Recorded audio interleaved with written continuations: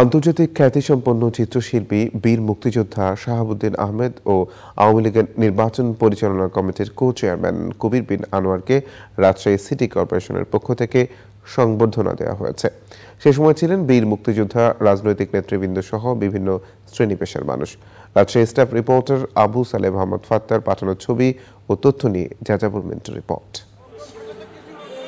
নিজ নিজ ক্ষেত্রে অসামান্য অবদানের জন্য শাহাবুদ্দিন আহমেদ ও কবির বিন আনোয়ারকে সংবর্ধনা দেয় রাজশাহী সিটি কর্পোরেশন।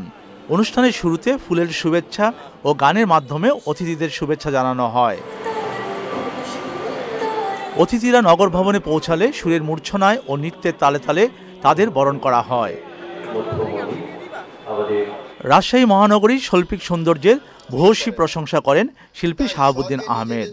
আজকে যে রাজশাহীতে আসছি, আমাকে নতুন চোখ দেখিয়ে দিল।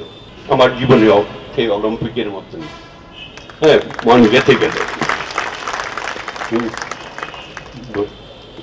বলতে পারব তোমরা জামানের দেশে আমাকে সম্মান দিয়েছে।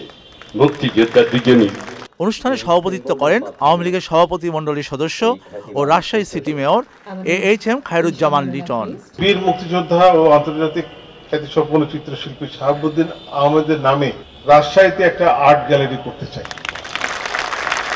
এবং আমাদের এই- এবারের মেয়াদ শেষের দিকে আর হয়তো চার মাস আমরা দায়িত্বে আছি।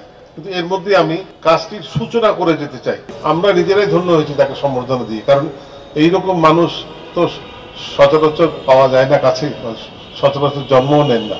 অনুষ্ঠানে বীর মুক্তিযোদ্ধা রাজনৈতিক নেতৃবৃন্দ সহ বিভিন্ন শ্রেণি পেশার বিশিষ্টজনরা উপস্থিত ছিলেন। যাযাবর মিন্টু চ্যানেল আই।